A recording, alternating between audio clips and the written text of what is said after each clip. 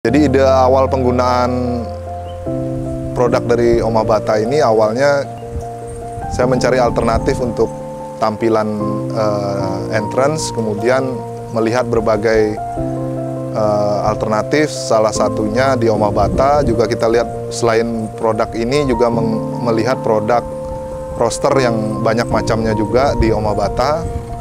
Lalu saya melihat salah satu postingannya yaitu penggunaan bata briquette Grey ini di uh, Sanur. Kalau nggak salah itu taman, ada sebuah taman yang dipersiapkan untuk G20 di Sanur. Uh, terima kasih pada Oma Bata khususnya karena telah dengan berbagai macam pilihan produknya bisa membantu kami untuk merealisasikan ide uh, bagi bangunan Umatis Resto dan Venue dan juga banyak bangunan lainnya.